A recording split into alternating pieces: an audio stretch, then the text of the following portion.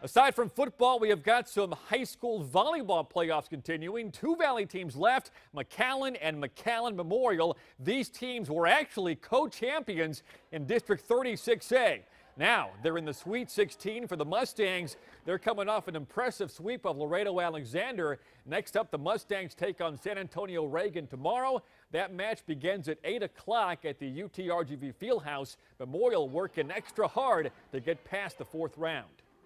And it would be amazing. We've it's I don't know if a Valley team has ever done that, and I know a Memorial team has never done that, so it would be making history. Of course, there's always that underdog feeling when you're playing a big uh, San Antonio team. They have a lot of uh, size on their team, but uh, that's just extra motivation for us because we have nothing to lose this game. We're just going to give it all we got and see what happens.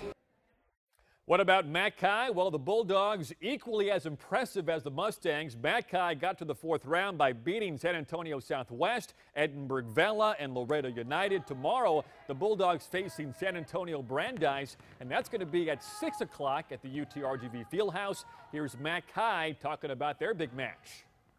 It's uh, honestly just exhilarating. I know that my team has worked so hard, and to not get this far in playoffs, it, it's really a bummer. And just knowing that all of our hard work is really going to a good, a good cause, it's it's very motivating. Our whole team has played club ball, and we play for one of the best clubs in the valley. So these girls aren't anything we've played before. We have played girls like this, but we do know this game is going to be a tough game, and that we need to bring our A game to win this game.